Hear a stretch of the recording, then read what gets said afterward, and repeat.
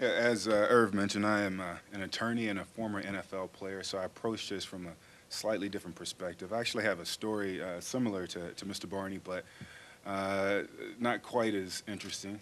Um, I, uh, when I was done playing in NFL, um, I, I, played in the NFL uh, only two seasons over the course of three years. And when I was done playing in NFL, I went to a chiropractor and the chiropractor examined my neck and she said, have you been involved in a car accident recently? And uh, I, I said, uh, no, why do you ask that? She said, because you have broken bones in your neck. Now, this is after I was done playing football, and had I decided that I wanted to go and try to apply for disability, I wouldn't have been able to get it. And this is the, the case with many of these guys over here.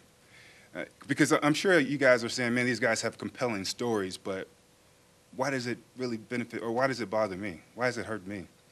And it hurts you or it affects you because when the NFL denies disability, and almost in every case they will deny disability, you are the guys who pay for it because they then have to go into Medicare or Medicaid, or they end up in the emergency room because they can't afford insurance based off of pre-existing disabilities. Uh, for example, if you haven't been vested, so I played two years. I played 15 years prior to getting in the NFL. Okay? So that was 15 years worth of hits. I played in the NFL for two years. And I think at that point we all say, okay, now the NFL owns you. And anything that happens as a result, the NFL is going to take care of its brothers, it's going to take care of its people. Well, I'm in a similar situation as George Visger is, in that the reason George isn't receiving disability now through the NFL is because he didn't play enough to be vested. He was excluded based on what we would consider a technicality, rules that were created by the NFL and the NFLPA.